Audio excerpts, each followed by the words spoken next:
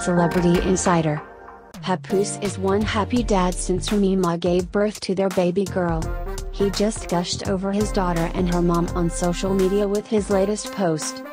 He updated his fans and followers on social media on how his two girls are doing these days.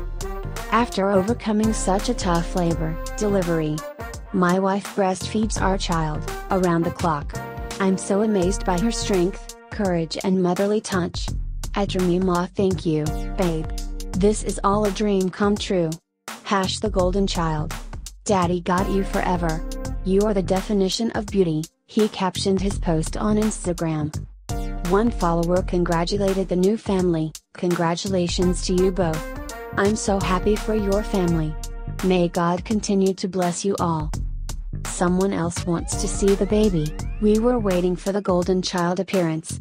When can we get a pic? At Papoose Papoose. Another commenter gushed over Papoose and told him that you are the definition of a great husband, together an amazing couple. I hope I find this kind of love one day. Congrats to you all. Remy Ma who gave birth to a beautiful baby girl after she went through what her husband explained was a very tough labor. Remy Ma and her hubby announced last Friday night that after 10 hours of labor that they have welcomed a baby girl into the world.